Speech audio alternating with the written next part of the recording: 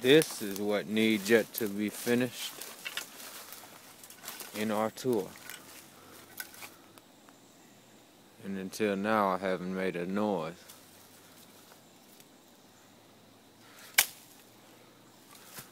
What is time for the birds to chirp somewhere else.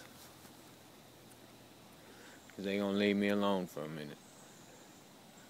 They always come when everything's laying on the ground and I'm chilling. One love and plenty much love for the next stage.